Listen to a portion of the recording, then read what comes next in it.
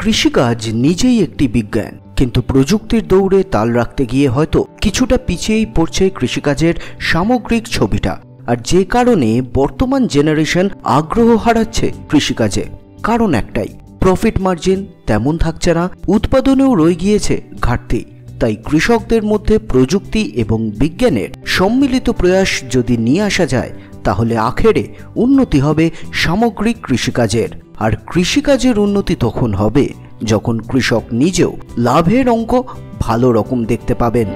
কিন্তু কৃষিকাজের এই সামগ্রিক ছবিটা তুলে ধরার জন্য কি কি প্রয়াস নেওয়া হচ্ছে, কারাই বা নিচ্ছে সেই প্রয়াস। এখানেই আসি সেই যৌথ প্রচেষ্টার শুরুতে। লক্ষ্য হচ্ছে প্রকৃতি বান্ধব চাষ, মাটির স্বাস্থ্য পুনরুদ্ধার এবং বিষমুক্ত ফসল উৎপাদন। কৃষিকাজের জন্য সেটা বৈপ্লবিক পরিবর্তন আনবে ঠিকই। কিন্তু এই অসাধ্য সাধন করবে কারা? নদিয়া কৃষি বিজ্ঞান কেন্দ্রের সঙ্গে ইনহানা অর্গ্যানিক রিসার্চ ফাউন্ডেশন এবং বিশ্বখ্যাত তথ্য প্রযুক্তি সংস্থা আইবিএম।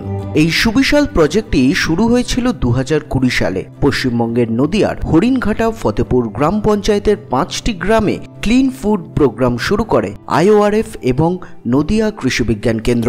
এই বিশাল কর্মকাণ্ড তারপরেই নজরে আসে আইবিএম এর তারাও বুঝতে পারে এই প্রোগ্রামের গুরুত্ব কতটা। আর যে কারণে দু হাজার একুশ সালে তারা এই প্রজেক্টের সঙ্গে যুক্ত হয়, তৈরি হয় আইবিএম আইওআরএফ সাস্টেনেবিলিটি প্রজেক্ট।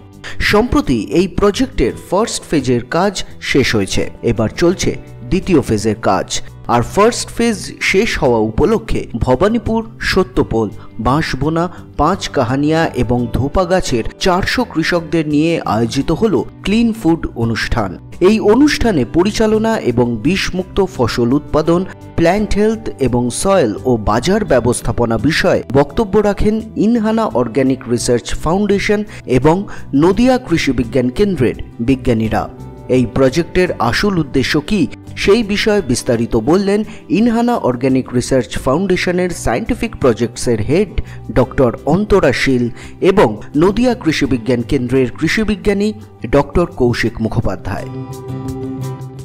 এই প্রোগ্রামের আন্ডারে যেটা আমরা নিয়ে এসেছি চাষিদের সামনে সেটা হচ্ছে কীভাবে একটা সাস্টেনেবল ক্রপ প্রোডাকশন করা যায় বিষমুক্তভাবে করা যায় এবং চাষের খরচা না বাড়িয়ে করা যায়। এবং এই পদ্ধতি যেটা আমরা দেখাচ্ছি, সেটা হচ্ছে ইনহানা র্যাশনাল ফার্মিং টেকনোলজির আন্ডারে। আমরা plant health management and soil health management দিয়ে কিন্তু এই চাষটা করাচ্ছি, যেইটা থেকে আমরা পেস্টিসাইড মুক্ত খাবার কিন্তু তৈরি করতে পারছি। আজকের যে অনুষ্ঠান, সেই অনুষ্ঠানটা মূলত নদিয়া কৃষি বিজ্ঞান কেন্দ্র এবং ইনহানা অর্গানিক রিসার্চ ফাউন্ডেশন। এই দুটি সংস্থার যৌথ উদ্যোগে এখানে একটি কর্মসূচি গত দু বছর ধরে প্রায় সংগঠিত হচ্ছে। সেই কর্মসূচিতে আমাদের মূল উদ্দেশ্য যে আমরা অর্গানিক প্রোডাকশানের একটা লেভেলে অর্গানিক সার্টিফিকেশানের বিষয়টা নিয়ে অনেকেই শুনছি, কিন্তু কৃষকরা এই অর্গানিক সার্টিফিকেশান লেভেল বা পুরোপুরি অর্গানিক চাষ অবধি হয়তো পৌঁছবার ক্ষেত্রে বিভিন্ন রকম তাদের সমস্যা আছে, টেকনোলজিক্যাল সমস্যা আছে, মার্কেটিংয়ের সমস্যা আছে, তার এই প্রোগ্রাম এক্সিকিউশনের ক্ষেত্রে বিভিন্ন রকমের সরকারি প্রাতিষ্ঠানিক যে সহযোগিতা যেভাবে পাওয়া সেটা সবসময় তো সবভাবে পাওয়া যায় না। তো সেই কারণে আমরা যেটা প্রথম আমাদের টার্গেট এই প্রোগ্রামের অধীনে, সেটা হচ্ছে আমরা যদি কৃষকদের অন্তত ক্লিন ফুড, অর্থাৎ যেটা মানে সার্বিকভাবে এটাকে ব্র্যান্ডিং করা হচ্ছে ক্লিন ফুড বলে, অর্থাৎ লক্ষ্য হচ্ছে যাতে পেস্টিসাইডস এবং ফার্টিলাইজার সারের যে খারাপ প্রভাব যেখানটা রয়েছে, তার সেই প্রভাব মুক্ত একটা ফসল ফলানোর দিকে কৃষককে যাতে আমরা এগিয়ে দিতে পারি। এবং সেই কারণে তার প্রথম অংশ হিসেবে আমরা বেছে নিয়েছি মাটির ম্যানেজমেন্ট মৃত্তিকাকে ম্যানেজমেন্ট করবার। এবং সেই মাটিকে ম্যানেজমেন্ট করবার একটা পার্ট হিসাবে এখানে গ্রহণ করা হয়েছে যে কম্পোস্ট সার তৈরি। এবং সেই কম্পোস্ট সার তৈরির ক্ষেত্রে আমরা গুরুত্ব দিই যে, এই অঞ্চলে যেটা বহুল পরিমাণে পাওয়া যায় সেটা হচ্ছে কচুরিপানা।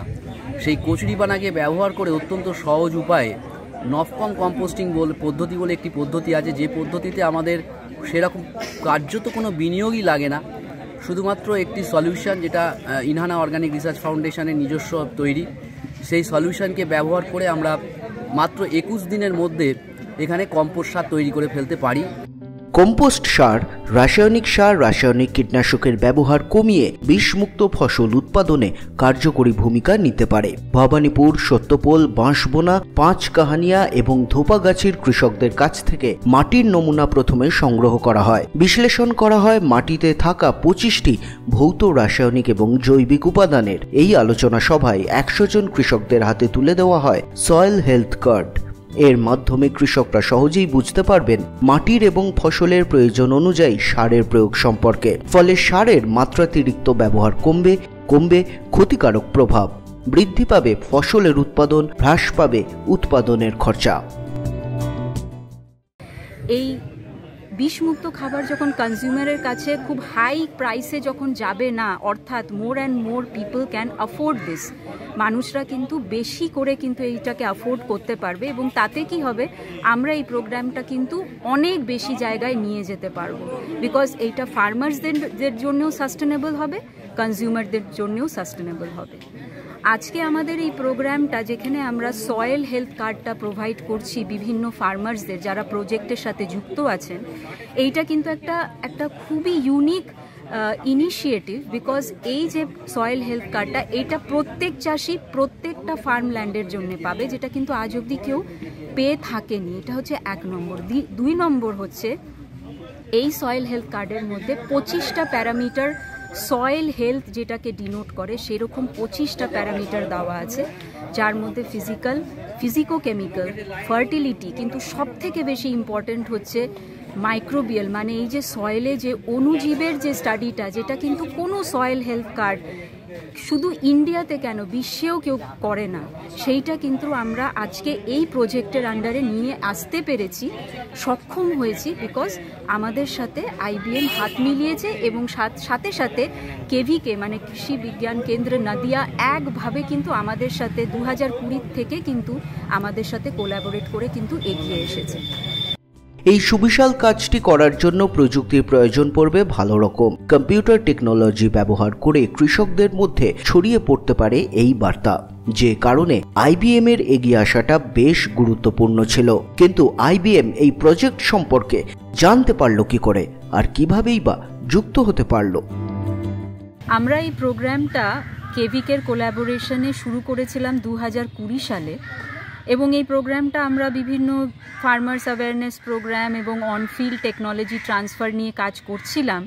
ধীরে ধীরে যখন এই প্রোগ্রামের বিষয়ে আমরা জায়গা, জায়গায় জায়গায় বিভিন্ন অর্গানাইজেশনের সাথে যখন কথা বলছি, তখন এরকমভাবেই এই প্রোগ্রামের বিষয় কিন্তু আইবিএম যারা হচ্ছে সারা বিশ্বে কম্পিউটার টেকনোলজি এবং প্রোভাইড করছেন এবং বিভিন্ন ডেভেলপমেন্ট প্রোগ্রামের সাথে তারা যুক্ত হচ্ছেন বিভিন্ন সময় যাতে মানুষের কাছে সায়েন্স অ্যান্ড টেকনোলজিটাকে পৌঁছানো যায় এবং সেইটার মাধ্যমে তাদের জীবনটাকে ভালো করা যায়।